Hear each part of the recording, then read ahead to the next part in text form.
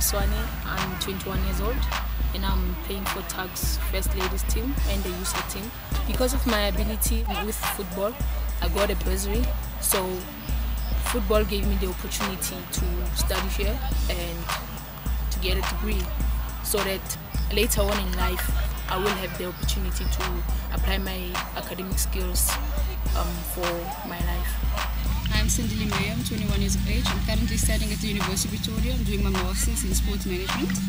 It was in my second year that I actually realized that I can make a profession out of this. And this is when I started to concentrate more on my soccer. And then that's when I represented South Africa at the World Student Games. It was actually through my academics. I didn't go for football. I actually stopped playing football for fun overall. But then when I got to university, that's when I actually realized the importance of sport and how big a person can make it once you at university level.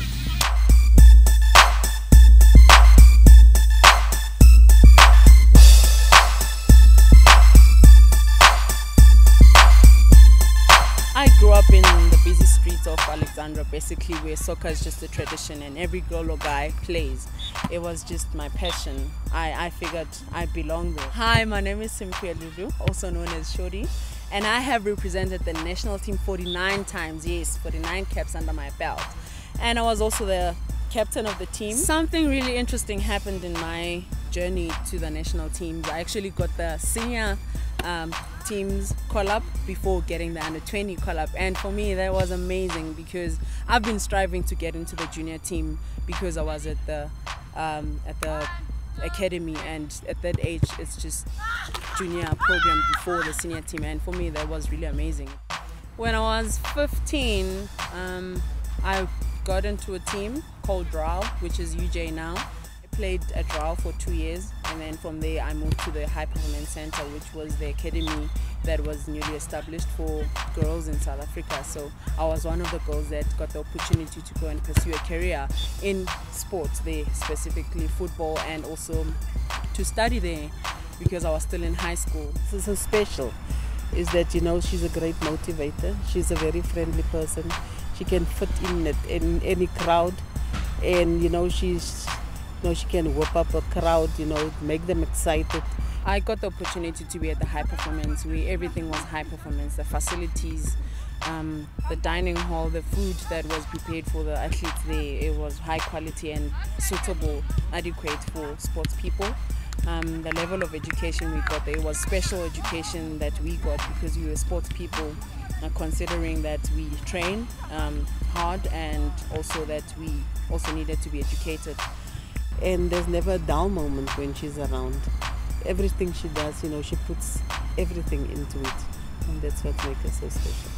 I still say that education is very important because currently I have a degree under my belt because of of um, the level of education I got at that early age. You know, because I, I had the balance. I had the balance between school and and sports, football specifically. So mm, that's the reason why I, I wanted to be involved with Mavu because they are also an organization that pushes um, education through sport. I was picked to be captain because of my discipline, dedication, and determination on and off the field. I was part of something very big in South Africa, and that was the final World Cup draw in 2009. And being part of that was just amazing. It was an epic achievement. Um, also, the second one was when I got Sportswoman of the Year at the University of Pretoria. I think, yeah, that would fall into my career highlights. It, it was the big one, and I think I'll treasure that all my life. Yeah. It's because of these underprivileged kids, like I was once, part of them and like them, that Mavu has developed as, and has the passion to help them become better people, better sports people, better communities. And because they're developing sport and education, which are big elements that made me who I am today. And because I also want to see them be better than me, Mavu is part of that. It's living the dream. I'm also living the dream with them. What's stopping you from having the power of passion? It's the power of passion that drives us, right? Yes.